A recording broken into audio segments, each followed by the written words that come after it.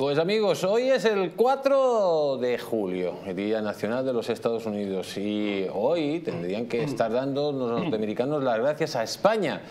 ¿Por qué? Voy a leerle la siguiente noticia. Dice, la importancia de España y la independencia de Estados Unidos, que pocas veces se reconoce. Dice esta noticia, hoy tiene lugar el Día de la Independencia de los Estados Unidos, fiesta nacional que conmemora la firma de la Declaración de Independencia de 1776 de este país respecto al Imperio Británico. Una fecha en la que tradicionalmente se realizan otro tipo de celebraciones y eventos, así como se recuerda a los hechos que llevaron y resultaron de aquel momento histórico. Desde España se debe recordar, en especial, una parte de aquel contexto, pues nuestro país jugó un papel clave en esta independencia, algo que pocas veces se reconoce. Más allá del apoyo de Francia hacia los rebeldes norteamericanos, si hubo un país que quizás le empató a la hora de ayudar esencialmente fue España. Su colaboración fue igual decisiva o más que la del país vecino, con el que compartían un pacto de familia, por el que actuaban conjuntamente en política exterior. Así, la participación española la demuestra uno de los varios datos que se documentan de entonces. Si bien participaron en aquella guerra de la independencia 5.000 hombres, desde España se enviaron 11.000. De hecho, desde el inicio de esta contienda, España abasteció de armas, munición y medicinas y todo tipo de importantes utensilios a rebeldes, así como les proporcionó refugios en sus barcos, les prestó dinero y permitió el comercio de los Estados Unidos en sus puertos.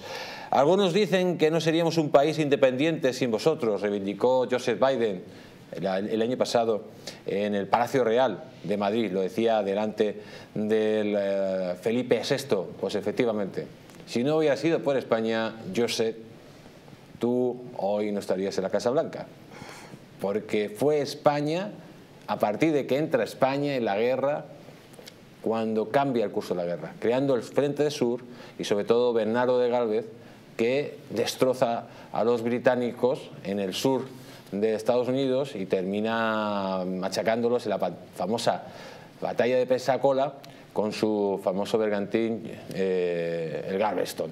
Tenemos al otro lado de Sky a nuestro querido Alonso Alonso. Don Alonso, ¿cómo está usted? Buenas noches. Tenemos muy poco tiempo para que nos cuente en tres minutos, porque estamos fuera de tiempo, no hemos habido manera de conectar con usted antes. Cuéntenos usted por qué España y Hispanoamérica es tan importante para los norteamericanos que celebran hoy su Día de la Independencia. Hola Jesús, te habla Patricio Alonso, no Alonso, no me cambies. Ah, Patricio. Bueno, no pierda usted en tiempo en eso que tenemos tres minutos. Cuéntenos. Eh, creo que lo que es importante que hoy 4 de julio los norteamericanos deberían eh, recordar eh, el aporte español. Porque sin España, sin el aporte de, los, de Bernardo de Galvez, por lo cual hay una ciudad que se llama Galveston, y también por el aporte de Luis de Unzaga y Amézaga, que es, un, el hombre que crea el nombre de Estados Unidos. Un trabajo muy interesante que ha hecho el historiador malagueño Frank Cazorla. Eh, y de hecho a Málaga le falta una torre a su catedral porque ese dinero fue donado justamente para la independencia de Estados Unidos. Pero el nombre de Estados Unidos se lo deben a Luis de Unzaga y Amézaga, el Tratado de Paz con Inglaterra también se lo deben a Luis de Usaga Mesa, quien además les hizo el primer mapa, sus primeros límites, y los ayudó a desarrollar la moneda, el Spanish Dollar, que está basado en el dólar en, el real de A8. De hecho, los primeros dólares tenían esa forma, tenían un dibujito del real de A8 en el costado. Así que yo creo que los norteamericanos se harían justicia a sí mismos si reivindicasen el aporte español a su independencia y el pasado español al sur de Estados Unidos, ¿no es cierto?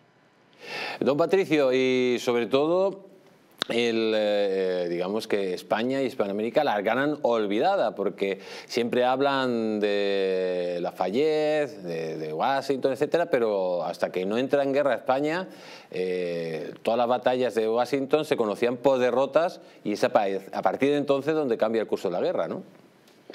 Por supuesto, evidente Estados Unidos hasta el 12 de octubre para ellos es una gesta italiana, no española.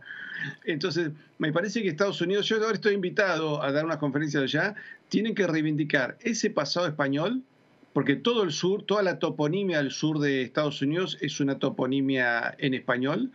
Eh, el primer día de acción de gracias fue español y tienen que recordar a Juan de Oñate, a Menéndez de Avilés, a todos aquellos hombres que hicieron grande, que llevaron la civilización al sur de Estados Unidos y que supieron integrar a los indios del, sur de lo que hoy es Estados Unidos, lo integraron a la cultura española.